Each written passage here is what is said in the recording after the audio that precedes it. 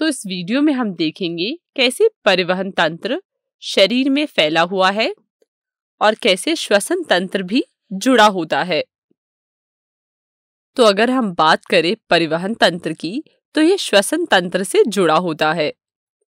आपको याद होगा, हमने कहा था कि हृदय ऑक्सीजनित रुधिर फेफड़े की शिराओं से होकर आता है, उसी प्रकार फेफड़े की धमनियाँ हृदय से वी ऑक्सीजनित रुधिर लेकर फेफड़े में आती है। बस ध्यान रखने की बात यह है कि धमनियों की दीवारें शिराओं की तुलना में मोटी होती हैं और ऐसा इसलिए होता है क्योंकि हृदय से धमनियों में रुधिर उच्च दाब से जाता है, जिसके कारण यह फट सकती है। इसी को दूर करने के लिए धमनियों की दीवारें मोटी होती हैं। और पिछली वीडियो में हमने यह भी देखा था कि हमारे बाएँ और दाएँ कोष्ठ एक दूसरे से अलग होते हैं।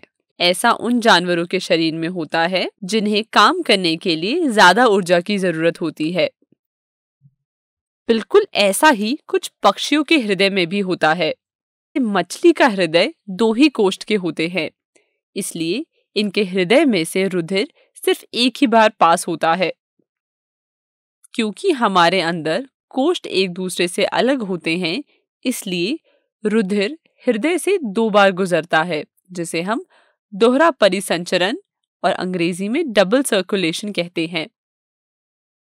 और यही पूरा तंत्र हृदय, फेफड़े और हमारे शरीर के अंग आपस में जुड़े होते हैं, और उसे हम हमारा परिवहन तंत्र कह सकते हैं।